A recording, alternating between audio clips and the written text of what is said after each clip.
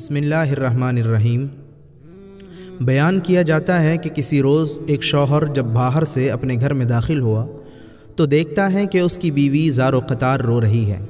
रोने का जब सबब दरियाफ़्त किया तो बीवी कहने लगी, हमारे घर के पेड़ पर बैठने वाले परिंदे, बसा अवकात मुझे बिला शरीय हिजाब और बग़ैर पर्दे के देखते हैं। तो मुझे डर लगता है कि कहीं इसमें अल्लाह की मासीत और गुनाह का इरतकब ना होता हो, जिसका अगर मुझे एक दिन अल्लाह के सामने हिसाब देना पड़ गया तो मैं क्या जवाब दूँगी? बस यही सोच कर और इसी खौफ से मैं रो रही हूँ।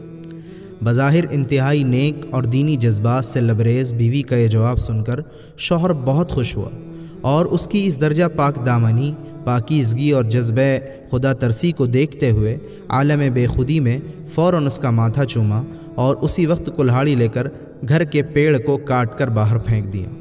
इस वाक़े के एक ही हफ़्ते बाद, एक रोज़ वो शोहर अपने दफ्तरी काम से जल्द फारग होकर अपने नॉर्मल वक्त से कुछ पहले ही घर आ गया तो क्या देखता है कि उसकी वही पारसा बीवी अपने आशिक के बाहों में लिपटी हुई सो रही है।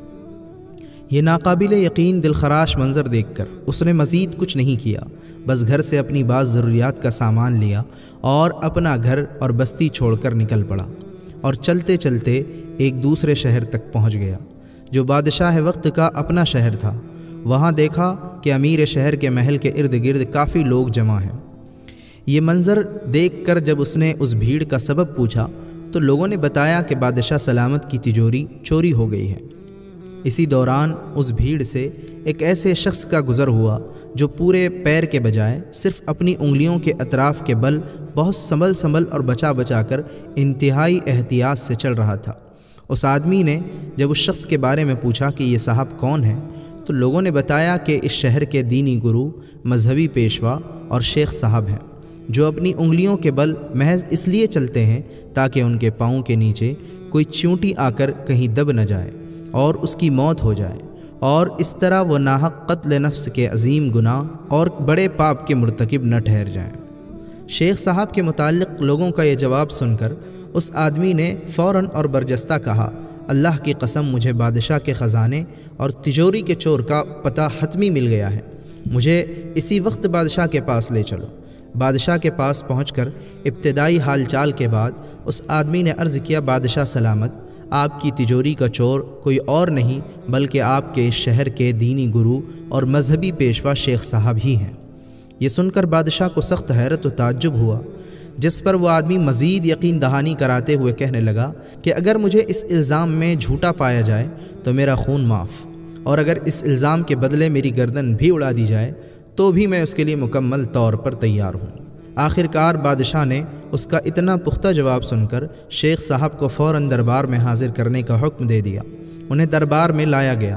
पूछताछ और तहकीक के बाद आखिरकार शेख साहब ने अपना जुर्म कबूल और तिजोरी चोरी का एतराफ़ कर ही लिया। शेख के इकरार जुर्म के बाद बादशाह उस शख्स से कहने लगा तुम ये बताओ कि आखिर तुमको कैसे पता चला कि चोर यही शेख साहब है, जबकि वो अपनी ज़ाहरी शक्ल सूरत और वज़ाक़ता से इंतहाई नेक, सालह और पारसा दिखते हैं। बादशाह के सवाल का जो कीमती जवाब उस आदमी ने अपनी सबका तजुर्बात की रोशनी में दिया, वो इंतहाई सबक आमोज़ और हमत व दानाई से भरा हुआ था। उस आदमी का जवाब था कि जब भी इजहार पारसाई में मुबालगा आरई हो रही हो और जहाँ भी नेकी और फ़ज़ाइल के बयान में हद से ज़्यादा तशद और गलू व अफरात नज़र आए तो आप फ़ौर समझ लें कि वहाँ ज़रूर किसी बड़े जुर्म और पाप को छुपाने की कोशिश हो रही है। सच है कि सिर्फ़ लिबास पारसाई से शराफत आ नहीं सकती। शराफत नफ्स में होगी तो इंसान पारसा होगा। किरदार को कपड़ों में छुपा रखा है तूने। कपड़ों की तरह तो तेरा किरदार नहीं है।